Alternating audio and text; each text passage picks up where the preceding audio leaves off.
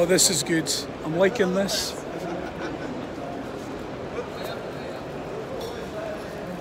Yeah, I think we'll stop off and have a look at these.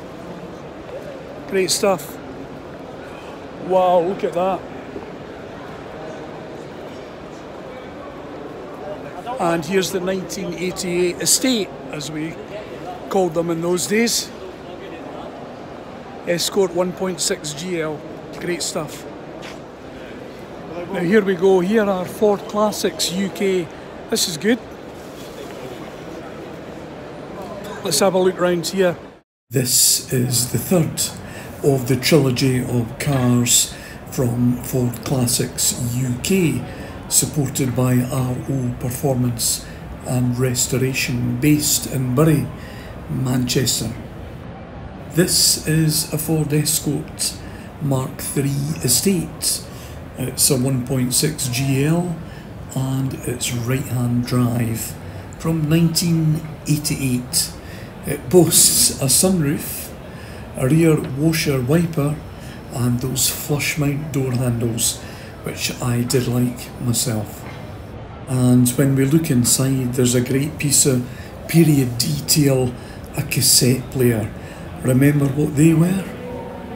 It's hard to believe that this car is almost 35 years old. The body doesn't say that, and neither does the interior. It really is a beautiful example of a 1988 Mark III Ford Escort 1.6 GL. You can even wind up and down your own windows because they're not electric, it's the hand manual twisters. There's a nice story to this car as well. Um, originally, I think it was purchased from Taylors of Southwell. Um, now, the first owner was a lady from Nottingham who sadly passed away. The car had been left to her son, who actually didn't know about it. And the car sat in the garage for 15 years, that's 1 5, 15, before being discovered. And uh, the car was eventually um, passed on to Mathewsons of Pickering. Now, they are classic car auctioneers the car was um, purchased.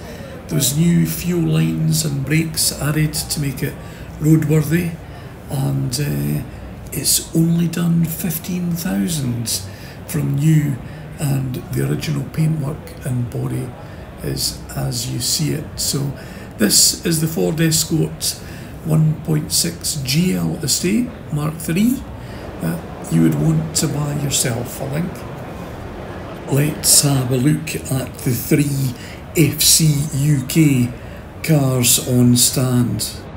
Hello everybody, hiya, toot toot, beep beep.